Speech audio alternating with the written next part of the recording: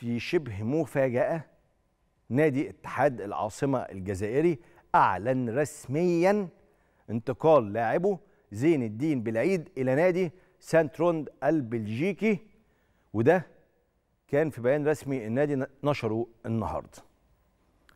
ده الخبر. وأنا كنت قلت لكم هنا مش أنا لوحدي يا كل الناس. وده اللي خدناه من النادي الأهلي إن الصفقة تقريبا كانت شبه منتهية مع النادي الأهلي. يعني كانت خلصانة للأهلي. اللاعب كان هيروح النادي الأهلي. طيب. إيه اللي حصل؟ أمور مالية ووكلاء وتفاصيل وحاجات يعني إيه حاجات ليها علاقة بأمور وكلاء لاعبين. عطلت الصفقة بالنسبة عطلت الصفقة بالنسبة للنادي الأهلي واللاعب خلاص بقى في بلجيكا رغم إن رغبته الأولى كانت الانضمام للنادي الأهلي.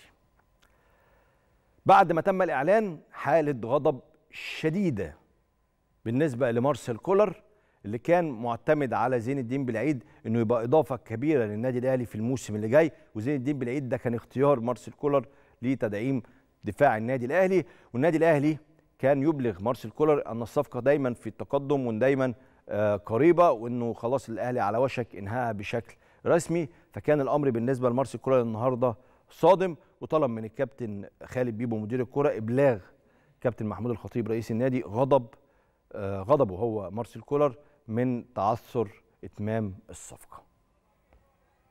خسارة. هو صفقة كويسة على فكرة مدافع مميز جدا جدا يعني.